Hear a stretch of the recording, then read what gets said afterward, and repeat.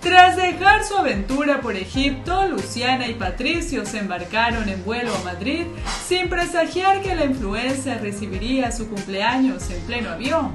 El momento fue registrado por Patricio, quien muestra a ambos con mascarillas y en sus asientos de avión.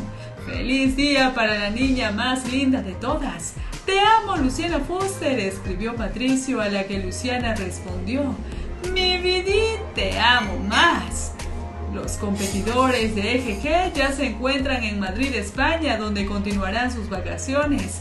Tanto Patricio como Luciana están registrando el paso a paso de estas inolvidables vacaciones que los ha llevado por Egipto, Turquía, Italia, Francia y España. Todo esto aprovechando que la temporada 11 de EGG aún no empieza por lo que no se ha confirmado aún que ambos formarán parte del programa de Esto es Guerra 2023.